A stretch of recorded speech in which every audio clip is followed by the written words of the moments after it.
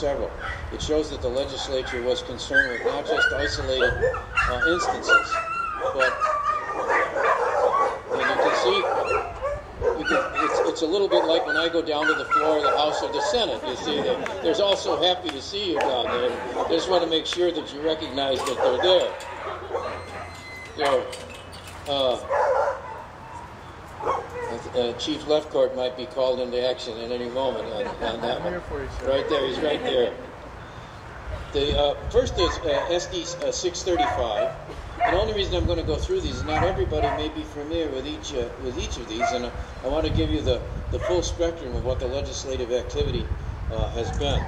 635 protects law enforcement animals as they as they perform their duties. It, uh, uh, this is a, a, definition of a law enforcement animal to the penal code to uh, uh see to it that those service dogs that include uh, include law enforcement animals. It may seem to everybody, well, isn't isn't that a matter of course, or wasn't that already in existence? And the fact was, the answer was no. And so that that recognition is there today. I think that's extraordinarily important.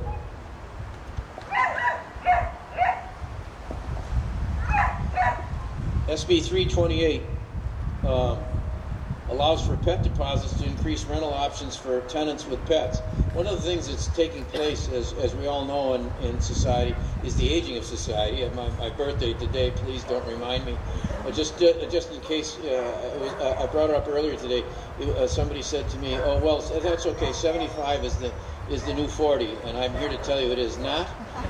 but nonetheless in terms of enthusiasm, I think uh, it's, it's, still there. And enthusiasm for this bill. This bill is very, very important, the pet deposit bill, for a very simple reason. Within a decade or so, uh, the fully one third of our population will be 60 uh, uh, plus, 60 years old plus. Um, for the, uh, especially for uh, those who, who understand the role of companionship as we age. Uh, we all know for, for kids, for families, uh, for, for ourselves before we reach our senior years, yes, that may be a given. But particularly for those in uh, assisted living areas, uh, those who may be leaving other homes and moving into apartments, uh, perhaps with a little less space to, uh, to have to take care of, having a companion, particularly a dog or a cat, is something that can be very, very precious in terms of quality of life.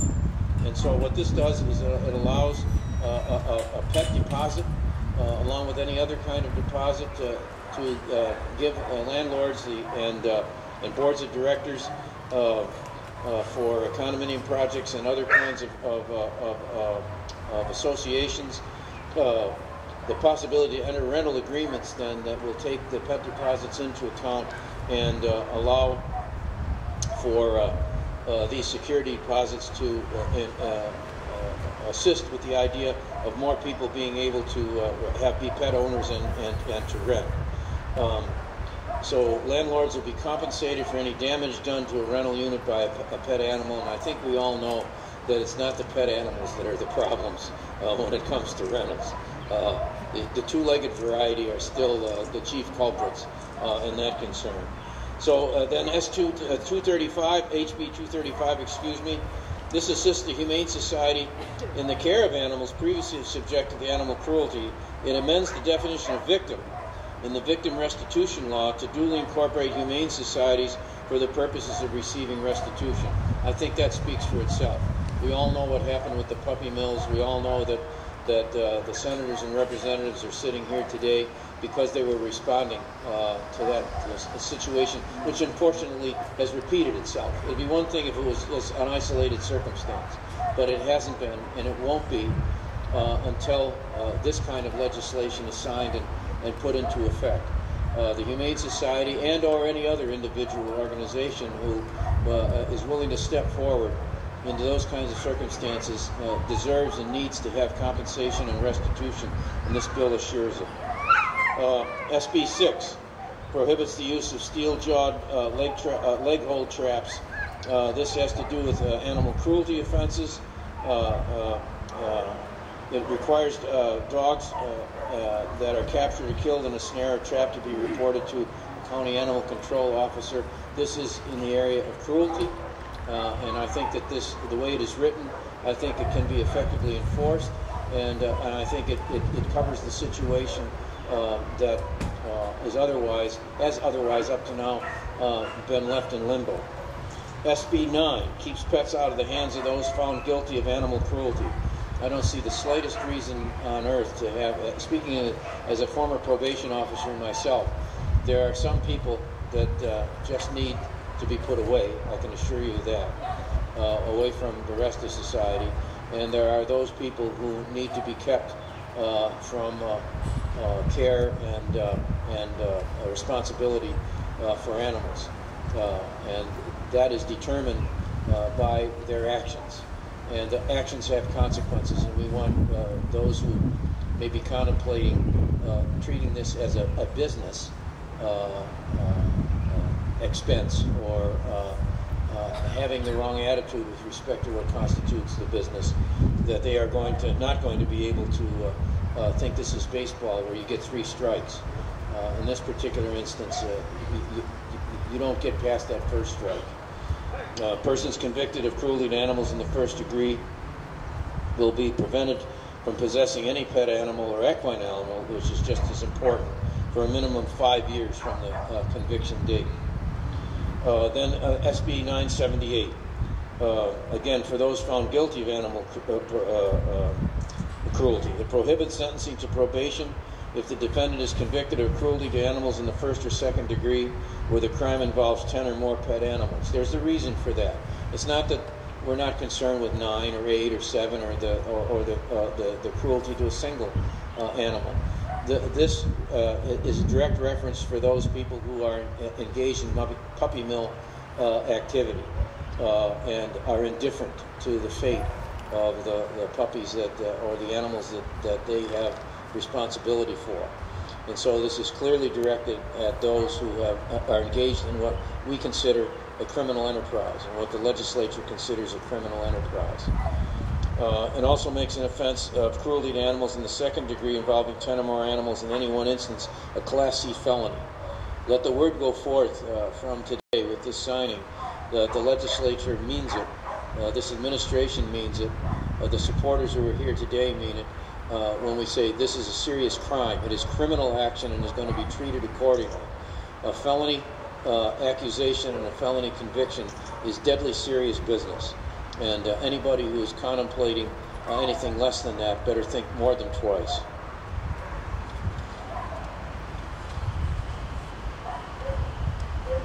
So, in conclusion, let me say these bills, uh, I believe, rightfully hold those who abuse pets accountable for their actions they're passed, and I think I can speak for the legislators here assembled, and I think I can speak for everyone here when I say animal issues are people issues. They are not separate uh, uh, from us in terms of responsibility and obligations. So these bills, I think, as in, in summary, protect uh, law enforcement animals. They expand the rental options for tenants with pets. They help groups like the Hawaiian Humane Society receive restitution when they care for animals who, who have been subject to abuse and cruelty. They prohibit cruel, cruel traps from being used, and they stiffen the penalties against those who are found guilty of animal cruelty. I'd say that was one hell of a package that just passed, and I want to again thank those legislators who made it all possible. And as I sign as I sign these bills, then I also want to, to thank those who made it possible by coming to testify, by getting the, the, uh, the, the, the, right information to the legislators, by putting it together in a rational and reasonable way. Uh, these are emotional issues, but, but the, the, the legislation is the result of testimony, yes, that may be motivated by our concerns, but was drafted with the idea of making certain uh, that we zero in on what it is that we want to alleviate, we, where we want to help, and where we want to uh, prosecute and punish. So I'm going to ask uh, uh, uh, all the legislators and, and, Keith to come up and, and, ask Pamela and Inga, representing everyone else, if they would, uh, to come up as well uh, to represent all, all everybody else who's assembled here today.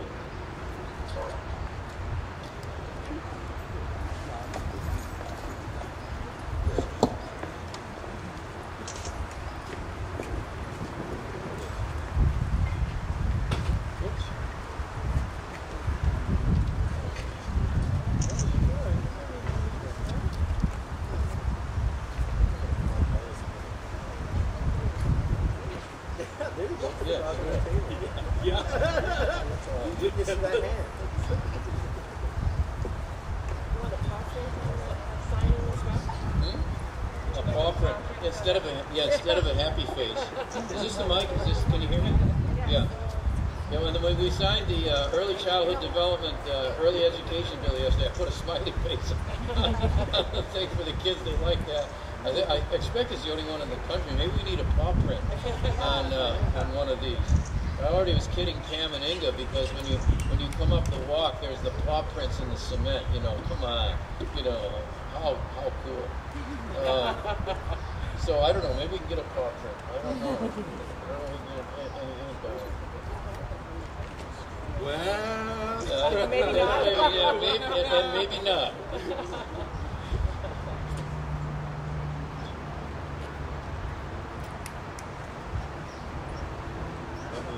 I was gonna say we could put a kitty cat up here, but maybe not.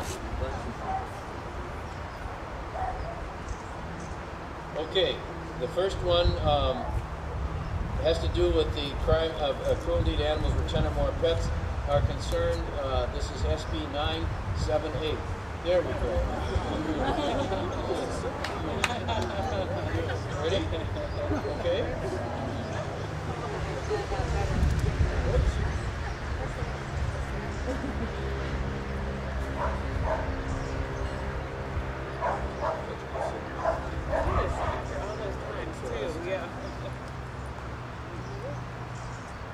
This is again uh, now um, um, Senate Bill 9. Again on uh, cruelty to animals.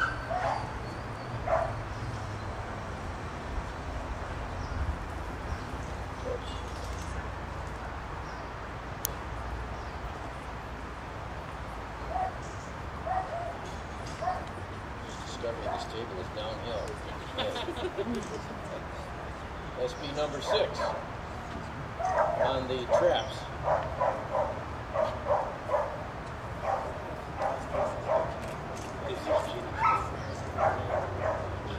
Jenny, this is your bill. Should I put a happy face on it? A restitution, Thank right you. here. Thank you very much on this one. Humane Society.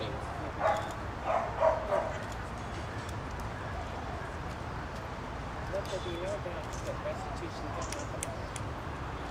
It will happen now. The tenant bill.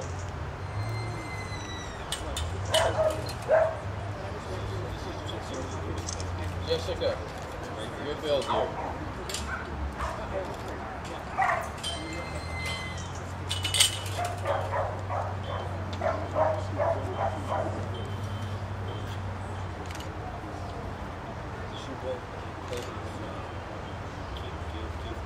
Oh, yes.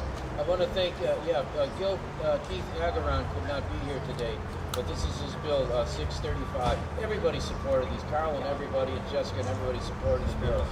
And uh, Senator Espero as well, obviously. But uh, so, in any event, he can't be here today, and I wanted to make sure that I, I mentioned it.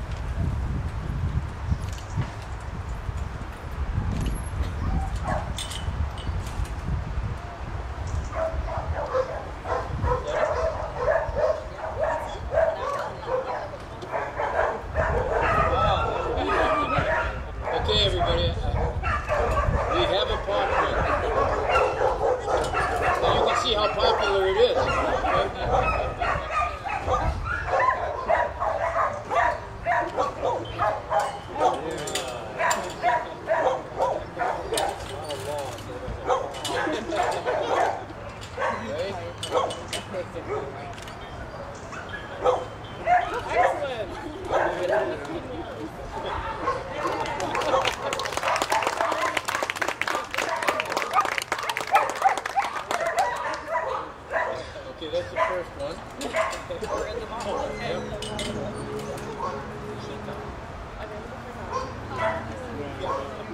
you.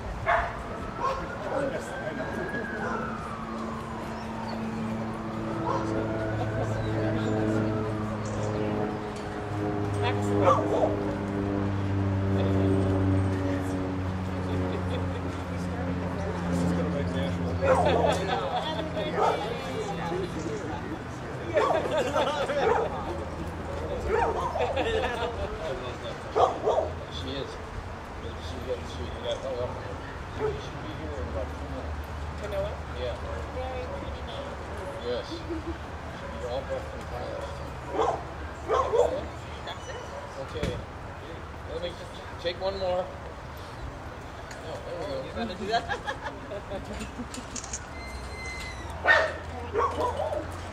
Okay. Great. All right. Wonderful. Thank you. No, I was, uh, we just had, we had the, the signing and so on, but all of these folks worked very hard to get this done, and so I just want to give an opportunity to Pam or Inga or any of our uh, legislative friends, if they have a word or two they'd like to say in conjunction with this, uh, we're happy to have them now.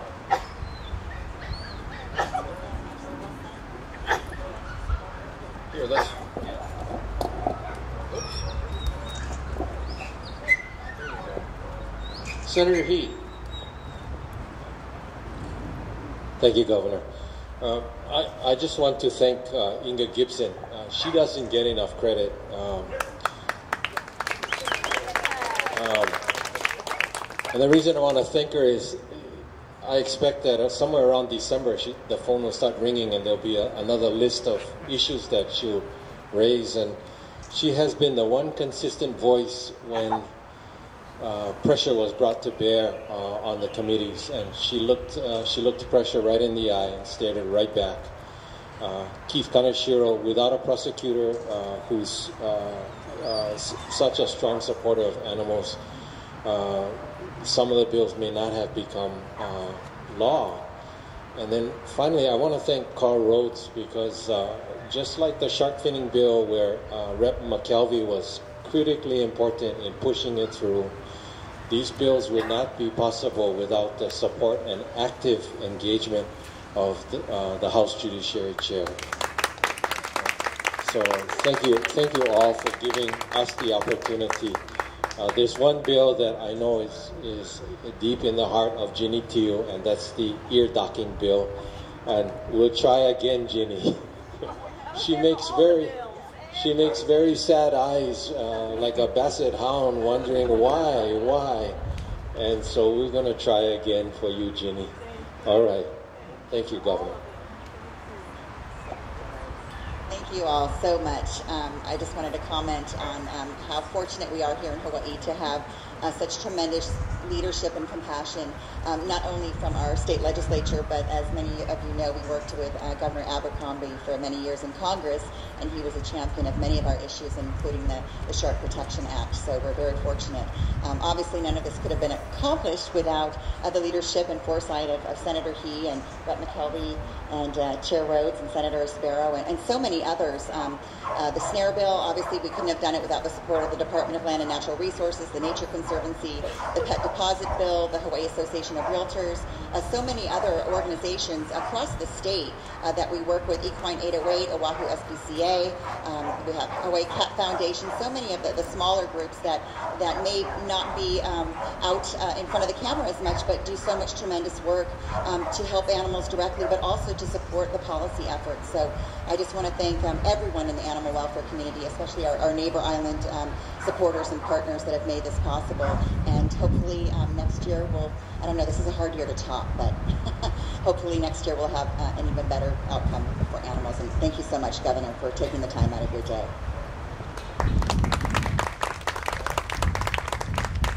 Thanks, Governor. Uh, Somebody asked me today, do I own any pets? And I said, no, that's way too much responsibility for a House member. I, uh, and, then, and then they asked me, well, why'd you move so many uh, pro-pet bills this year? And I said, well, you know, just because I don't own one doesn't mean that I share with my colleagues the utter disgust at people who would do cruel and inhumane things to animals, and I'm proud to be a part of having passed these pieces of legislation. Mahalo.